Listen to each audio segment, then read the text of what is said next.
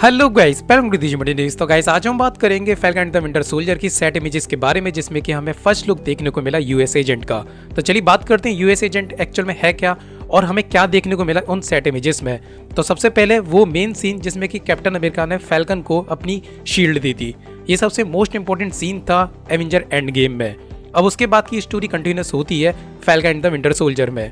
तो सबसे पहले यूएस एजेंट का कैरेक्टर प्ले कर रहे हैं रसल जो कि आपने देखा होगा, उनको ओवरलोड मूवी में, जो कि 2018 में आई थी। काफ़ी कमाल की और जॉम्बी टाइप की मूवी थी। रसल एक कमाल के एक्टर हैं और उन्होंने इस कैरेक्टर के लिए काफ़ी मेहनत करी थी, अपने बाल को बड़ा करा था पर्सनैलिटी यानी कि कह सकते हो बॉडी बिल्डिंग भी करी थी। यूएस एजेंट के ढलने में उन्होंने काफ़ी ज़्यादा अपना संघर्ष करा।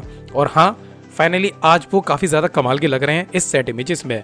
इससे पहले अभी हाल ही में एक कौन सा पार्ट लॉन्च हुआ था यूएस एजेंट का, जिसमें कि शेविंग बढ़ी हुई थी और एकदम कैप्टन अमेरिका टाइप का लग रहा था और कॉस्ट्यूम में काफ़ी सारे चेंजेस कर दिए गए थे।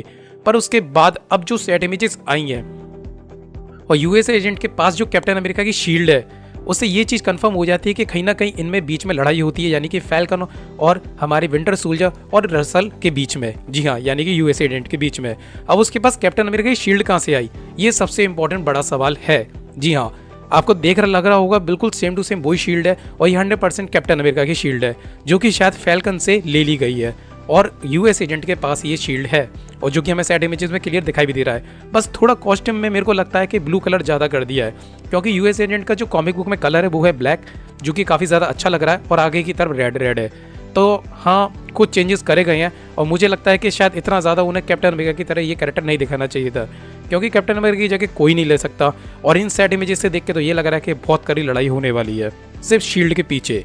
मेन रीज़न ये हो सकता है। और अपने रीज़न भी ज़रूर बताना। तो गाइज़ आज के लिए बस इतना ही। तो कैसा लगा अपडेट कैसा लगा वीडियो अगर आप ये वीडियो यूट्यूब पे देख रहे हो, मेरे चैनल को सब्सक्राइब करें। फेसबुक पे देख रहे हो पेज को लाइक करें। रियली में आपको ये वीडियो पसंद आता तो लाइक कमेंट शेयर करो। जो मैं इस वीडियो को नहीं देखो या तो उस पर कैप्टन अमेरिका के हाथ मारो, या पैर मारो। पर और कुछ मत मारना बाय जा रहा हूँ।